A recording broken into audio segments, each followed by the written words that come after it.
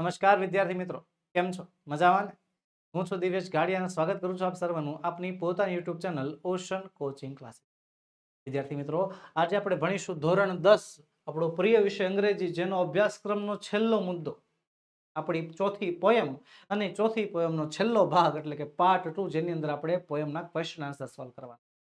અગાઉ વિદ્યાર્થી મિત્રો, આપણે સમગ્ર પાઠ્ય પુસ્તક ભણી ચૂક્યા છે હા આખે આખું પાઠ્યપુસ્તક એક થી દસ યુનિટ અને પોયમ નંબર વન, ટુ અને થ્રી, ત્રણે ત્રણ પોયમ સંપૂર્ણપણે અભ્યાસ કરી ચૂક્યા છીએ. પાઠ્યપુસ્તક સાથે સાથે આપણે શોર્ટ નોટનો પણ અભ્યાસ કર્યો છે અને પોયમની સાથે સાથે આપણે તેના ક્વેશ્ચન આન્સર પણ સોલ્વ કર્યા છે. વિદ્યાર્થી મિત્રો જો તમે તે વિડીયોઝના લાભ નથી લીધા, તો તેની લિંક નીચે ડિસ્ક્રિપ્શન બોક્સ પર આપી હશે, તેને જરૂરથી જોયા તો ચાલો, શરૂ કરીએ part two unit number four poem number four vanilla twilight એટલે કે સુગંધી સંધ્યા. આ પોયમના ક્વેશ્ચન આન્સર સેક્શન બી નો સૌથી પહેલો પ્રશ્ન હોય છે ને પોયમમાંથી સવાલ જવાબ તો પહેલા કરવાનું શું તો પહેલા જે છે આખી પોયમને એકવાર શાંતિથી વાંચી લેવાની તો the silence isn't too bad till I look at my hands and feel sad. Because the spaces between my fingers are right where your fit perfectly. Yours fit perfectly. I will find repose in new ways, though I haven't slept in two days.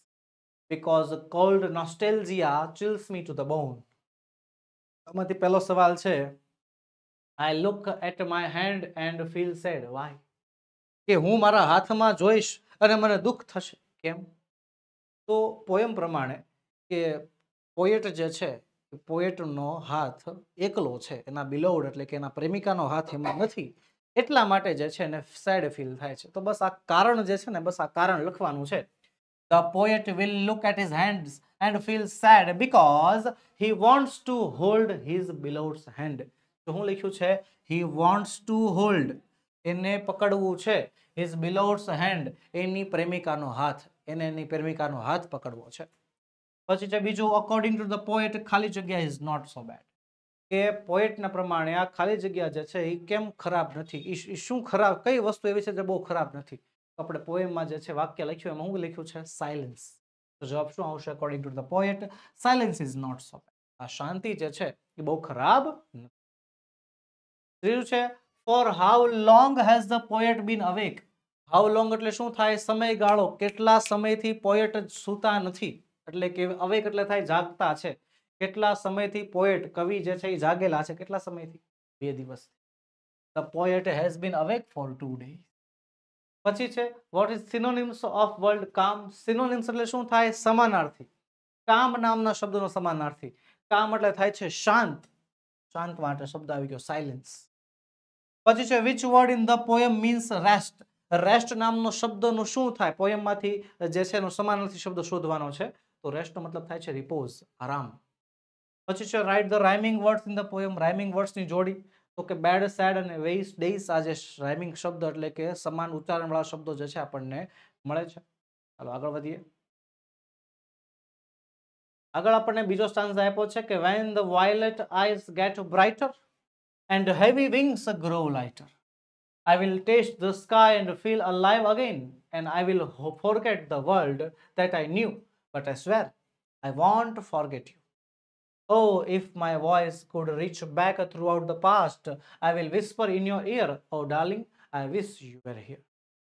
તો આ પ્રકારની પોયમમાંથી જે છે સ્ટાન્ઝામાંથી પહેલો સવાલ આવ્યો છે which line shows that the poet will always think of his beloved કે વિચ લાઇન એટલે કે કઈ લાઇન એવું દર્શાવે છે કે કવિ હંમેશા પોતાની પ્રેમિકાને યાદ કરશે? તો વિદ્યાર્થી મિત્રો જ્યારે પણ જો વિચ લાઇન વાળો સવાલ આવે યાદ રાખવું ખાલી તમારી લાઈન જ લખવાની છે, તમારે બીજું કાંઈ લખવાની જરૂર નથી. તો એ લાઇન લખ નાખવાની કઈ લાઇન છે? And I will forget the world that I knew but I swear I won't forget you કે આખી દુનિયાને હું ભૂલી જાઉં, પણ કસમ ખાઉં છું કે હું તને નહીં ભૂલું. આ જે લાઈન છે ને, બસ લાઈન લખના આગળ લઈએ હું કહે છે what will the poet do if his voice could reach back to the past કે જો પોએટનો અવાજ, કવિનો અવાજ ભૂતકાળમાં પાછો જઈ શકતો હોત ક્યાં જઈ શકતો હોત? ભૂતકાળમાં પાછો જઈ શકતો હોત તો કવિ શું કરત? તો કવિ શું કરત? તો એને જે છે કાનમાં વાત કરત, કાનમાં વાતો કરત. If the poet's voice could reach back to the past he would whisper in his beloved's ear કે પોતાની પ્રેમિકાના કાનમાં જે છે એ ધીમે ધીમે વાતો કરે ત્રીજું છે write the rhyming words in the poem પોયમમાંથી rhyming word શોધો. તો કયા કયા શબ્દો મળ્યા આપણને?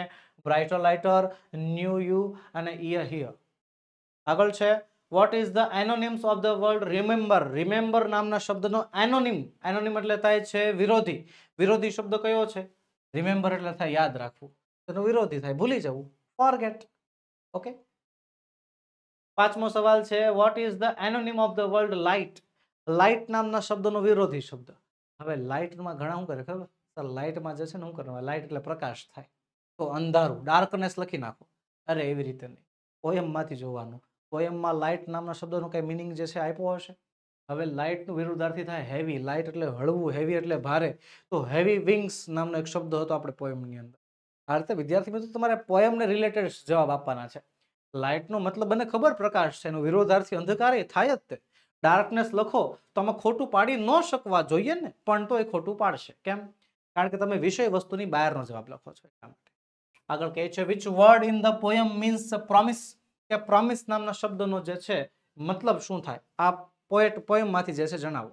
તો પ્રોમિસનો મતલબ સમાનાર્થી શબ્દ આપણને આપ્યો છે શું? સ્વેર પછી છે which word in the poem means to speak softly કે નીચેનામાંથી કયા શબ્દનો મતલબ? કે sorry which word in the poem પોયમમાંથી કયા શબ્દનો મતલબ થાય છે? ટુ સ્પીક સોફ્ટલી ધીમેથી બોલવું. તો ધીમેથી બોલવું એટલે થાય વિસ્પર બરોબર?